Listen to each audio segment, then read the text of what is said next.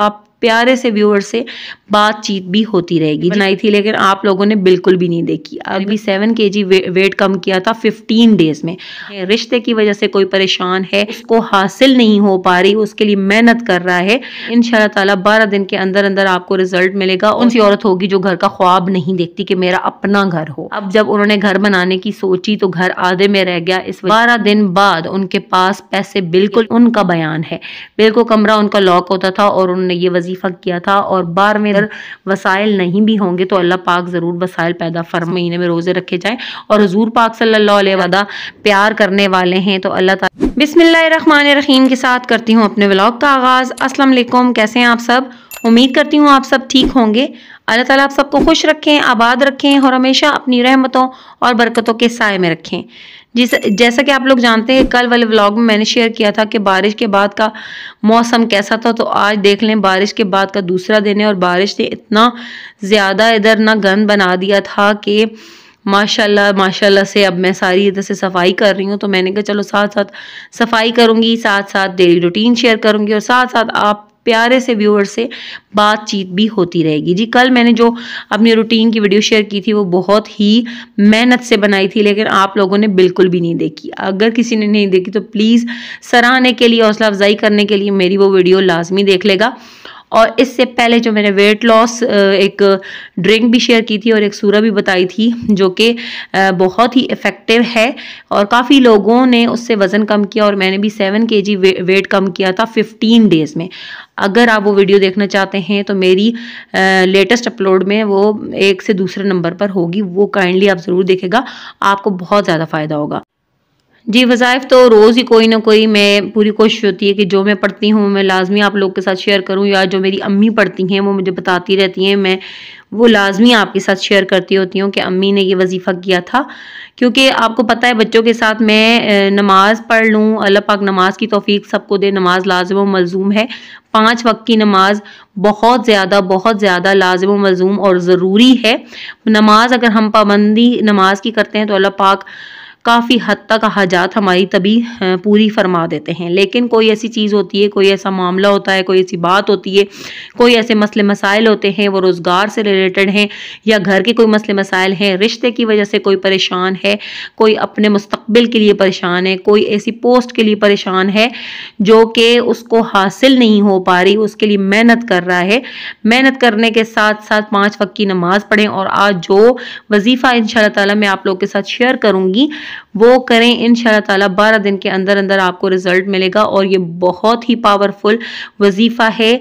ये मैंने खुद भी किया है और मेरी अम्मी ने किया है स्पेशली तो मैं इसलिए आज आपके साथ शेयर कर रही हूँ।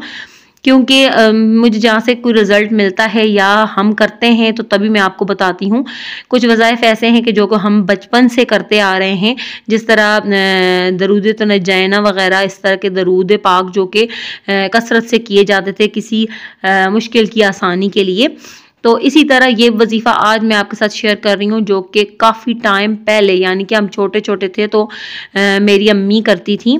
तो मैंने कहा चले मैं आप आज आपके साथ भी शेयर करती हूँ। ये वजीफ़ा मेरी जो अम्मी हैं मदर इन लॉ हैं, उनको भी मैंने काफ़ी टाइम ये वजीफ़ा करते हुए भी देखा और उन्होंने बहुत टाइम ये वजीफ़ा अपने जो रिलेटिव्स हैं उनमें भी शेयर किया और उन्होंने भी किया और इस वजीफ़े के बहुत ज़्यादा फ़वाद और रिज़ल्ट उनको मिले। मुआवजे हैं मुआवजे बारह दिन बाद आप देख सकते हैं, आपको इन ताला आपकी मुराद ज़रूर पूरी होगी और अल्लाह ताला ऐसे ऐसे वसीले पैदा करेगा कि जो चीज़ नामुमकिन होगी उसको भी मुमकिन बना देगा। लेकिन अगर बारह दिन के बाद आपकी हाजत पूरी नहीं हुई, आपने मायूस नहीं होना, बेशक मायूसी कुफ्र है। तो मुसलमान हैं हम हम हमें ये चीज़ें नासूट करती हैं और जेब भी नहीं देती। तो वज़ाइफ जो होते हैं वो अल्लाह ताला के करीब होने के लिए और दुआ की कबूलियत के लिए किए जाते हैं। वैसे जो नमाज़ है, पाँच वक्त की नमाज़ अगर हम पढ़ते हैं तो उसी में अल्लाह पाक हमारी दुआएँ कबूल फरमाते हैं क्योंकि नमाज़ भी अगर खुश खुजू के साथ खलूस के साथ दिल से अल्लाह ताला को हाजिर नाजिर जान कर सजदा रेज हों उस रब के सामने और आप गिड़गिड़ा के दुआ मांगें तो वो रब ज़रूर दुआएँ कबूल करने वाला है और हाजतें पूरी करने वाला है। जी तो आज, आज का वजीफा या बदियों का या बदियल अजायब बिल खैर या बदियो इस वजीफे का विरद आपने करना है किसी भी मुश्किल में किसी परेशानी में आपकी बच्ची का बहन बेटी का रिश्ता नहीं हो रहा रोज़गार में तंगी है आपके घर का चूल्हा नहीं जल रहा कोई मकसद हासिल करना है जैसे कि अगर कोई प्रॉपर्टी का मसला है वो आपने ख़रीदना है आपके पास पैसे नहीं हैं आप ये वजीफ़ा करें अल्लाह पाक ऐसे ऐसे वसाइल और ऐसे ऐसे ज़र्राए पैदा करेगा कि आपकी सोच वहीं दंग रह जाएगी।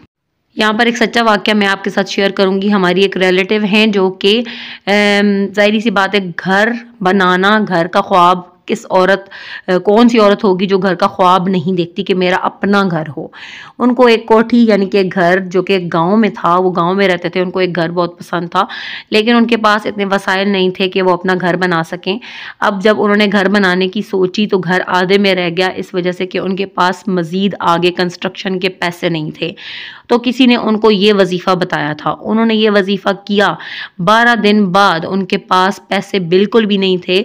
कभी वो अपने बहन भाइयों से मांगे कभी रिश्तेदारों से मांगे कभी किससे मांगे लेकिन किसी ने भी उनको पैसे नहीं दिए और बारहवें दिन जब वो इशा की नमाज़ के बाद रोज़ कमरा बंद करके ये वजीफ़ा करती थी बारह सौ मरतबा करती थी और अव्वल आखिर दरूद शरीफ पढ़ती थी तीन तीन मरतबा बिल्कुल कमरा उनका लॉक होता था वो उन, ये उनका बयान है।